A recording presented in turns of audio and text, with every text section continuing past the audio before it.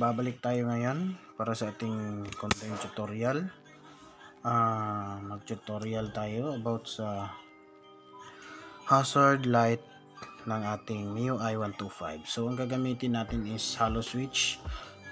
Uh, medyo maselan to dahil iba-iba yung ano, yung wirings natin na gugustuhin may may ibang tutorial na tayo sa hollow switch uh, sa hazard light na yung pang hazard light talaga ng switch ang ginamit. So ito yung gagamitin natin is hollow switch. Matatandaan natin yan.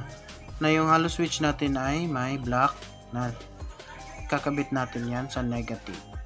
Itong red naman ay sa yung ilaw mismo ng ating hollow switch at hindi connected dito. Di, di, di rin siya connected dito. So, para lang sa ilaw to ng hollow switch, itong red na to. O positive sign, doon makikita natin sa loob mismo. Tapos, itong yellow na to, ito yung common, yung nasa ibaba common, at yung nasa gitna or white is uh, normally open. So, yung common, kakabit natin to sa uh, power source na nanggaling sa ating uh, relay ng ng hazard natin. Tapos itong white na to, kakabit natin doon miss papunta sa dalawang uh, signal light natin. Yung uh, left and right signal light natin. So, di natin yan magagawa kung di natin gagamitan ng dalawang diode na to. Itong dalawang diode na to, uh, mag-prevent para yung kasi iisa lang yung wire na uh, uh, mag magsusupply sa kanila sa dalawa sa left and right na na tawag ito signal light itong uh, normally open natin isa lang yung wire natin. So yung power source niya. So pag ito kinabit to dito kailangan yung silver na side ay nasa baba. So, bakit nga?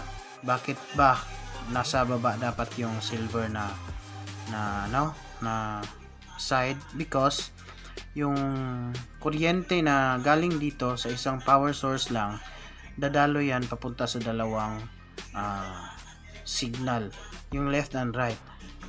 Pag dadalo yan dito then dito rin di na yan makakabalik dito. Ito di makakabalik hanggang dito lang yan. Silbi yung uh, wall nya yung dito itong diode nito so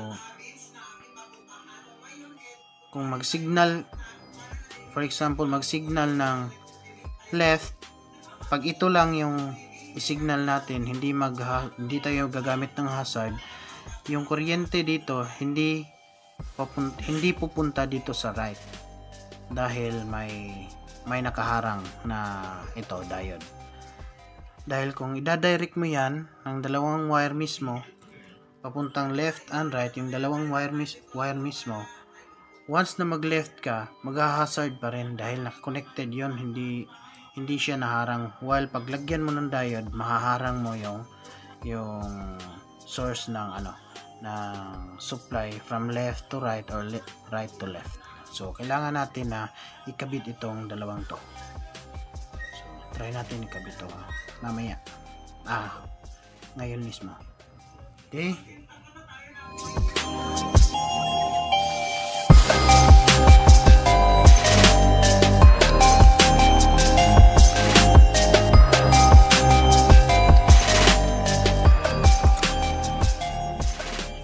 Ayun, na uh, hinang ko na yung sa ano, dito yung connection natin. So i-install na lang natin to sa ating motor sa MIUI 125 natin. So ayun. Yan nahinang na. Papunta dito sa ating switch. Dito sa normally open yung gitna. At saka yung may line na rin tayo papunta din doon sa uh, common natin or sa galing sa uh, relay natin sa flasher relay So, ready to install na to. So, ah, antay na naman tayo. Doon na naman tayo sa pag install nito. Okay? Hello, magbabalik tayo sa ating ah, hazard light gamit ang ating hollow switch na to. So, sa MIUI 125, kailangan natin mahanap tong socket na to, yung tong kulay na white, kung may sunog. Tong kulay na white na to, hanapin natin dito yung kulay green na dito na side. Yung kulay green, tatlo yan kasi. Ah, kulay green, ah, white, brown, at saka dark brown. Yung white brown natin dito yan yung nasa gitna dyan natin i-connect yung galing common natin itong, itong sa gilid na to yung green at saka dark brown yan yung it's either left or right na na connection. So di, galing dito sa ating hollow switch. So yung hollow switch natin may may white tayo dyan. Okay yan. Yan yung normally uh, normally open natin. May wire yan uh, dinugtong ko na yan. Ito papunta. Normally open natin yung nilagyan natin ng diode. Dito dito ko nilagay yung diode. Ito. Tapos connect mo yung isa dito sa gilid sa may green. Huwag mag-alala kung magbaliktaran uh, okay lang yan. At yung isang diode naman na connection is dito sa may dark brown. Yung gitna naman yung gitna natin yung yung galing sa switch naman natin na kulay yellow. Ito yung common natin. Ito common natin galing sa switch. Ilalagay natin dyan sa gitna ng ating ah, yan yung brown na may white sa na linya ah, may white na linya. Ito ay itong ah, wire na to ay galing sa ating flasher. Yung flasher natin galing. So yan galing dyan papunta doon sa switch natin patun, papuntang common. Tapos, yung black natin dito sa switch, pwede na hindi, hindi ikabit or pwede ring i-bolt mo dito. Tapos, yung red natin, sa style ko, uh, di ko ikakabit to sa normally open natin. Doon ko ikakabit sa park light ko. Uh, para pag mag park light ako, iilaw din tong ano, yung switch ko pag mag park light lang ako iilaw yan sabay sa ilaw ng dashboard or ng ng park light ah, natin so iba ang diskarte ko dito. So ayun na. Yung switch natin ah yan lang ang connection niya dito so white. Once again yung dalawang galing sa diode na galing din sa normally open natin kakabit natin sa bawat gilid nito sa signal lights natin. Tapos yung galing naman sa common uh, kakabit natin dito sa gitna sa may uh, flasher natin galing okay Sige. try muna natin to tapos mamaya babalik ako pag ma-install na lahat yan okay na nakakabit ko na yung ano switch So, yung positive pala nito, yung para sa light ng hollow switch mismo, nilagay ko sa aking park light. Doon ko nilagay. So, ito ngayon. So, hindi pa yan naka-on. Tapos, pag i-on yan, yan, magla-light. Hindi yan magla-light hanggat hindi hanggat hindi naka-on ang park lights. Pag i-on ko ang park light ito, magla-lights yan. So, hanap kasi. So ito. Kagion ko to. Ito. Okay. Yan. Tapos pag pindutin ko to ah mag-hazard yung motor natin. Yan. Hazard.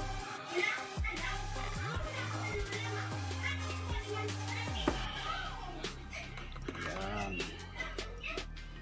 So, mag-hazard pa rin yan kahit ah, patayin natin tong sa ano, sa sa light ng halo switch. Yan, hazard pa rin yan. Okay. Hazard pa rin.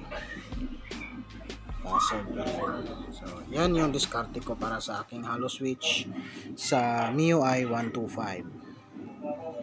Okay? Ito yun ah.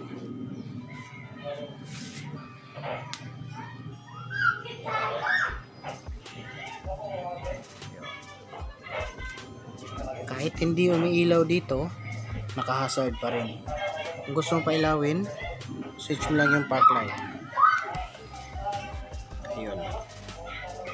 yun nakailaw nakailaw siya at naka-hazard pa rin so yun sana po ay may matutunan tayo dito yung mga mag DIY lang ah, sana may matutunan kayo ayun guys natapos na natin maibalik yung cover So, try natin.